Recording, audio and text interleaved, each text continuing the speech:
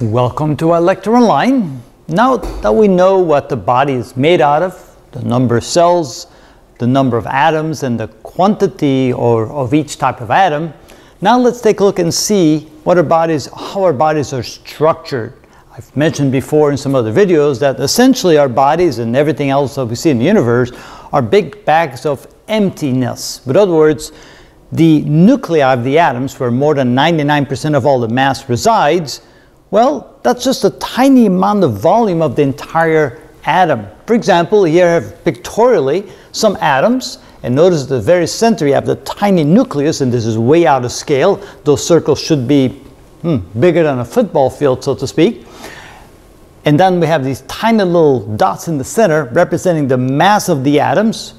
Now, if we were able to squeeze those atoms together such that the, we have nucleus against nucleus, well, how big would things be? And we did a video on the universe, and it was amazing that the entire universe would fit inside the orbit of the Earth.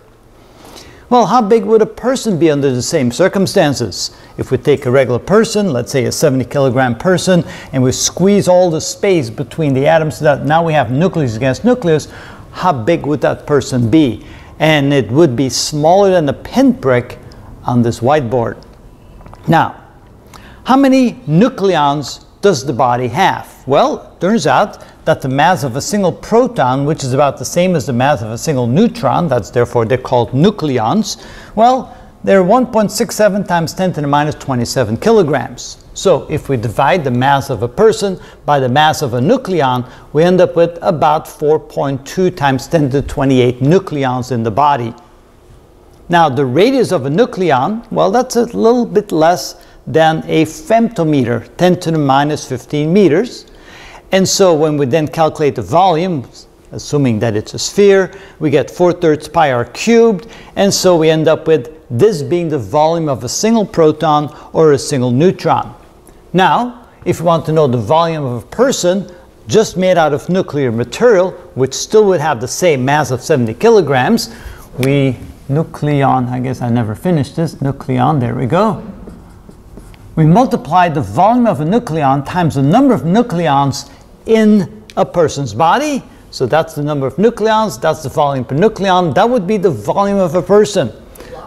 1.155 times 10 to the minus 16 cubic meters. Now, that doesn't give us much of a feel of what that is. So when we convert that to cubic centimeters, we have about 1 times 10 to the minus 10 cubic centimeters. Uh, convert to cubic millimeters, well, that gives us 1.155 times 10 to the minus 7 cubic millimeters. Now we know that cubic millimeter is a very tiny little volume. It would be tiny fraction of that. So then when we convert to micrometers, a micrometer is 1 1,000 of a millimeter. It would be less, about 11% of the volume of a cubic micrometer.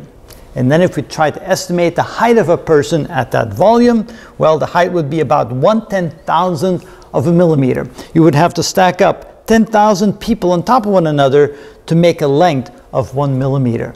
So you can see that we would be extremely small if somehow we were made out of nuclear material, weighing the same amount, having the same amount of mass, 70 kilograms, but we would be very, very tiny indeed.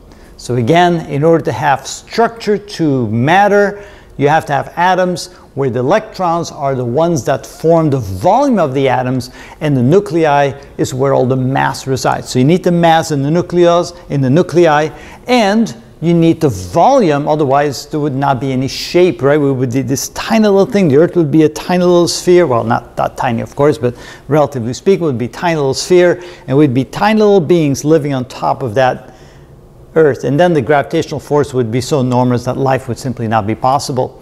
For life to be possible, for structure to exist, we have to have atoms that have this enormous volume with these tiny little nuclei at the center that carry the mass. It's an amazing structure, the atoms, and yes, indeed, we would be very tiny if we were just made out of nuclear material. if you stack up everywhere, so 10,000 people for a millimeter, that would be um, 10 million people for a meter, 10 billion people for a kilometer, so 10 billion, so almost a kilometer. So if you stack every human being on top of each other, of course that would be impossible if you could do it, Yeah, it would be about uh, a kilometer in height. So it'd be one kilometer cube if you take everybody. No, no, when you cube, that's a very different story. If, if you, the volume of the entire world, if all the people in the world put together would probably fit inside this little sphere right here. So yeah, it's, it's absolutely phenomenal.